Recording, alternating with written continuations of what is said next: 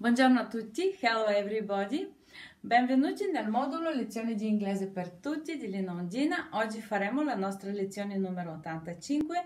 Vi ringrazio che mi guardate. Non dimenticate a quelli di voi che guardano, uh, che non ricevono le mie email, uh, che potete scaricare il materiale che metto per voi nei commenti.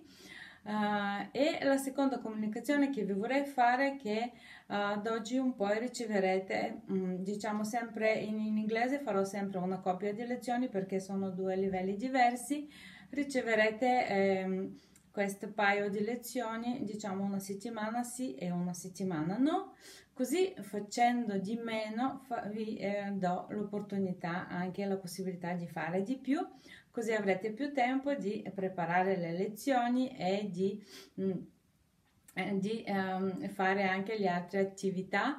Uh, e, il secondo motivo per quale che lo faccio è che a me serve il tempo per scrivere perché le lezioni che devo scrivere adesso sono aumentati e, um, e, um, e l'altro motivo è che alcuni di voi mi hanno scritto uh, che sono indietro con il materiale.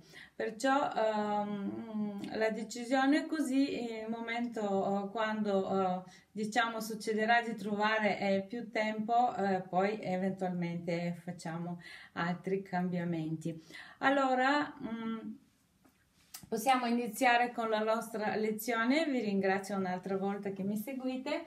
Come sapete siamo alla fonetica e gli esercizi e adesso come vedete siamo passati alla pagina 17. Chi ha il libro può anche seguire. Dovete sapere che alcune delle parole si ripetono e sono fatti proprio per questo, per esercitare di pronunciarle.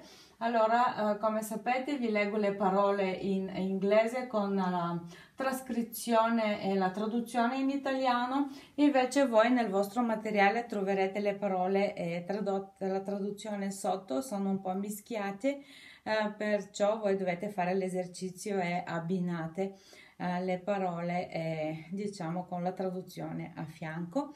Allora, Cominciamo e dopo la mia lettura leggerò ogni parola due volte e potete anche voi uh, diciamo uh, provare a ripetere con me non dimenticate sempre di usare il vostro dizionario qualsiasi che sia cartaceo oppure online ogni volta quando vi viene un dubbio potete andare su word reference e a trovare la parola necessaria. Molte delle parole eh, vanno lette e potete sentire anche la pronuncia.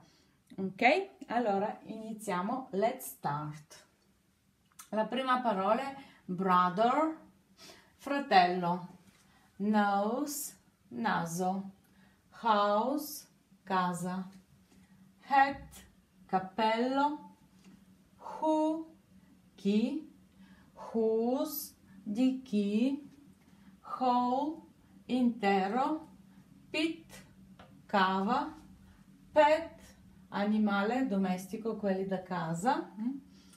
pet, dare una pacca, vedete qua la pronuncia è quasi la stessa, mm, ma, uh, ma vogliono dire due cose diverse e poi qua c'è uno A, one A and this is an E. So this is a pet and this is a pet. E la, la, differenza è quasi imperce impercettibile. Bat, pipistrello, bot, questa è una parola bot che si usa nell'informatica e ha, um, è l'abbreviazione di robot, ok? Um, rit, liberarsi, red, rosso, rat, Fico, questo è uno slang, uno gergo che vuol dire cool, mm? ok? Rot, bastone o bacchetta, hit, colpire, heat, calore. E adesso leggeremo ogni parola due volte, così potete ripetere insieme a me. Ok, let's start. Brother, brother. Nose, nose.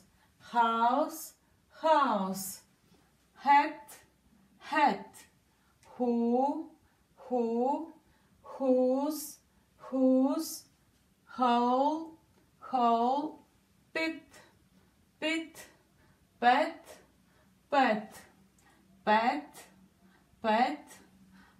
pot, pot, bit, bit, bat, bat, bat, bat, bot, bot, read, read, red, red, rat, rat, rot, rot, hit, hit, hit, heat. E questi eh, erano le parole di oggi. Se eh, ci sono le parole che non conoscete, eh, non esitate di cercarle nei vostri dizionari. Ogni eh, qualvolta che eh, vi eh, serve aprire il dizionario sarebbe utile per eh, tenere diciamo, la vostra memoria aggiornata e sentirvi meglio. Allora, uh, non dimenticate, do not forget, stay safe and sound and see you in the next video. Bye bye!